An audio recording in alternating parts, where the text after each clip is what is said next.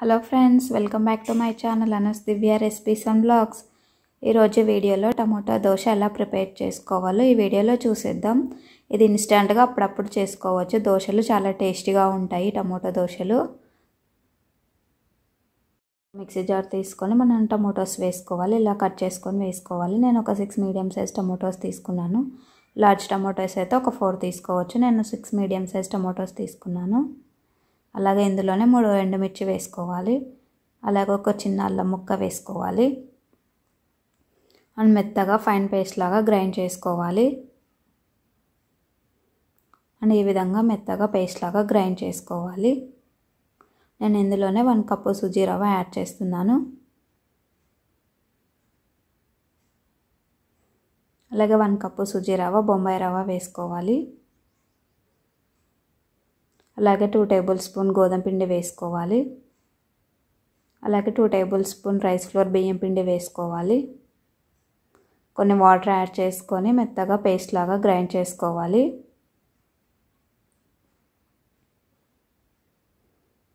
And batter consistency వచ్చి ఇలా ఈ విధంగా ఉండాలి.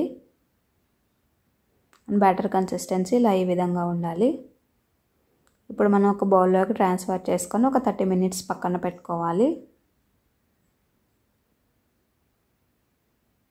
ఒక థర్టీ మినిట్స్ పక్కన పెట్టుకోవాలి.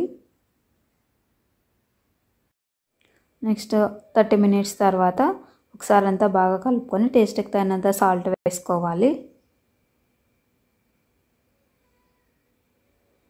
సాల్ట్ వేసుకున్న తర్వాత ఒకసారి అంతా బాగా మిక్స్ చేసుకోవాలి.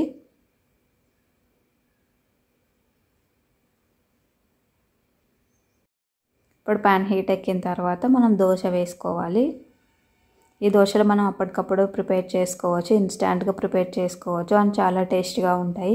అన్ని దోశలోకి మనం పల్లీ చట్నీ కానీ కొబ్బరి చట్నీ కానీ ప్రిపేర్ చేసుకుంటే చాలా టేస్టీగా ఉంటుంది.